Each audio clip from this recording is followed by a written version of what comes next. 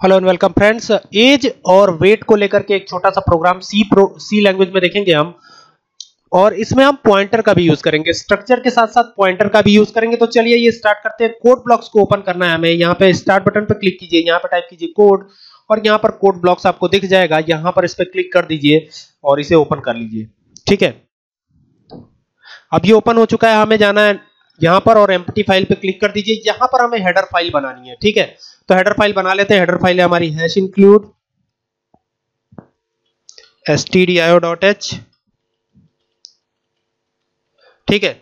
इसके बाद फिर नीचे आएँगे। नीचे जैसे ही आएँगे तो यहाँ पर एक हमें कीवर्ड लिखना होता है स्ट्रक्ट चूँकि हम स्ट्रक्चर का प्रोग्राम बना रहे हैं तो ये स्ट्रक्ट कीवर्ड लिखना ज़रूरी है। फिर केवल एक बनाया हमने पर्सन नाम से, ठीक है? और यहाँ पर कर्ली ब्रैकेट लगा लिया। कर्ली ब्रैकेट लगाने के बाद फिर इंट टाइप का डेटा टाइप में ले रहा हूँ।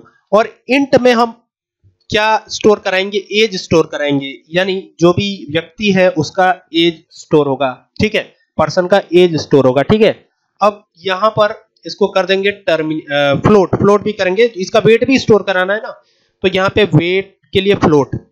हो सकता है वेट फ्लोट में हो। आप यहाँ भी फ्लोट लगा सकते हैं। No problem. चलिए यहाँ पे फ्लोट ही रखते हैं। हो सकता है एज भी पंद्रह दशमलव पाँच ईयर ऐसे कुछ करके हो। ठीक है?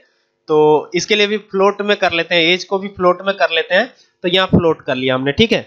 अब यहाँ पर नीचे आकर के इसको पहले टर्मिनेट कर देता हूँ एज और वेट ये दोनों टर्मिनेट हो गए, यहाँ पर आकर के और करली ब्रैकेट को कर दिया क्लोज और यहाँ पे टर्मिनेट कर दिया। टर्मिनेट करने के बाद यहाँ पर जब हम आएँगे तो यहाँ पे मेन फ़ंक्शन बनाना है हमें तो इंट मेन लिखा हमने, आ गए।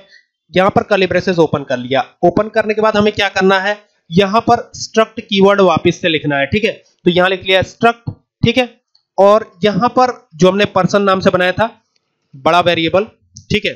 स्ट्रक्चर जो बनाया था हमने, और यहाँ पर पॉइंटर भी ले रहा हूँ, ध्यान दीजिएगा, ये पॉइंटर का सिंबल होता है ये, ठीक है? स्टार और यहाँ पे पीटीआर लिख लिया हमने, ठीक है? कॉमा दिया। अब एक और चीज़, एक और वेरिएबल पर्सन वन के नाम से बना रहा हूँ तो यहाँ लिख दिया पर्सन वन ये लिख दिया। और इसके बाद इसे टर्मिनेट कर दिया। फिर एंटर करके नीचे आएँगे। फिर यहाँ लिखता हूँ मैं पर्सन पीटीआर ये लिख दिया इज़ इक्वल टू ठीक है? और address of person address of person यहाँ पे पर्सन करेंगे। तो एड्रेस ऑफ़ पर्सन कर दिया हमने और यहाँ पे वन रखा। और इसे टर्मिनेट कर दिया। टर्मिनेट करने के बाद एंटर प्रेस करके नीचे जैसे ही आएँगे। तो यहाँ पर हमें प्रिंट एफ़ लगाना है प्रिंट करवाने के लिए। तो प्रिंट एफ़ लगा दिया हमने। इसके बाद से एज एंटर करवाना है हमें। तो यहाँ पे लिखता हूँ मैं एंटर एज ओके तो एज यहाँ पे एंटर करना होगा, ठीक है? और इसको क्लोज कर दिया टर्मिनेट कर दिया, नीचे आएँगे। क्योंकि एज जो है यूज़र एंटर करेगा दैट्स वाई यहाँ पे स्कैनअप भी लगा दीजिए। ये तो आप जानते ही हैं, पुरानी कहानी है। तो ये यहाँ पे परसेंट डी लगाएँगे। अच्छा ये बताइए, हमने पहले लिया था एज के लिए इंट अब ले लिया है फ्लोट तो परसेंट डी लगेगा कि परसेंट एफ़ लगेगा?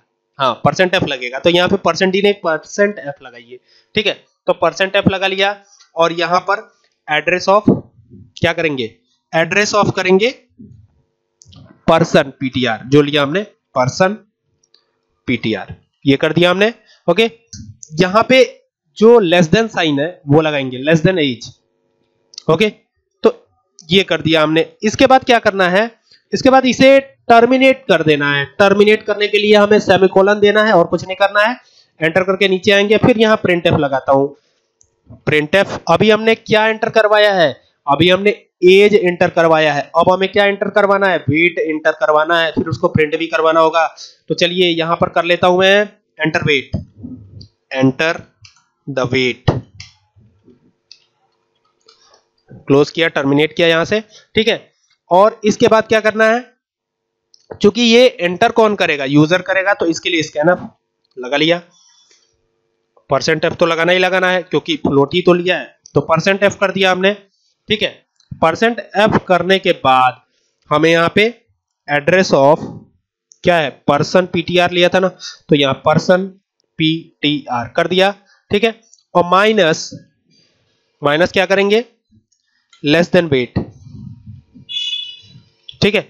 ये कर दिया हमने टर्मिनेट किया। टर्मिनेट करने के बाद क्या करना है? प्रिंट एफ़ लगाना है। प्रिंट एफ़ क्यों लगाना है? क्योंकि इसमें हम कुछ देना चाहते हैं। क्या हम देना चाहते हैं? टफ लग, लगाना है क्योंकि हम चाहते हैं कि एज और वेट दोनों प्रिंट होकर आए। ठीक है? तो जो भी है हमारा रिज़ल्ट प्रिंट हो जाए तो प्रिंट एफ़ लगा दिया। अब एज तो एज इज़ परसेंट एफ़ और बैकस्लैश एन इसलिए लगा रहा हूँ ताकि लाइन चेंज होती रहे ठीक है? ये हमने कर दिया। अच्छा जो हमने वेरिएबल बनाया है पर्स, पर्सन पीटीआर या इस तरह से कोई और भी वेरिएबल आप बना सकते हैं ये कोई ज़रूरी नहीं कि इसी नाम से बनाइए आप। तो यहाँ पे लिख दिया हमने पर्सन पीटीआर ठीक है? तो पर्सन पीटीआर कर दिया लेस देन एज ठीक है? ओके अब फिर वही चीज़ नीचे भी अभी तो एज के लिए था, अब वेट के लिए। तो यहाँ लिखता हूँ print percent F is the weight ये कर दिया हमने, और इसके बाद क्या करना है? इसके बाद फिर वही पर्सन पीटीआर वेट ओके तो ये कर देंगे और टर्मिनेट करने के बाद चूँकि इंट मेन लिया है तो रिटर्न ज़ीरो भी देना होगा तो यहाँ पर रिटर्न ज़ीरो दे देता हूँ। और रिटर्न ज़ीरो ये दे दिया हमने और इसको यहाँ से क्लोज कर दिया। बस इतना ही आपको करना है, अब इसको सेव करने की बारी। तो यहाँ से इसको सेव कर देता हूँ डेस्कटॉप पे सेव करेंगे। यहाँ डेस्कटॉप पे चलता हूँ। Point dot C point dot C नाम दे दिया हमने इसे और इसको एंटर करके सेव कर दिया। अब यहाँ से कंपाइल करवाने की बारी है। तो इसको अगर कोई एरर नहीं है तो हमारा प्रोग्राम सक्सेसफुली कंपाइल्ड हो जाएगा। कंपाइल्ड हो भी गया। ठीक है?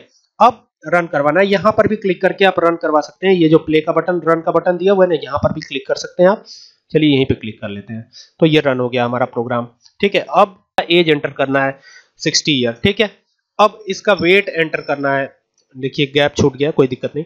तो मान लीजिए वेट है इनका छिहत्तर किलो, ठीक है? तो यहाँ पे एज और वेट दोनों प्रिंट होकर आ गया आपके सामने, ठीक है?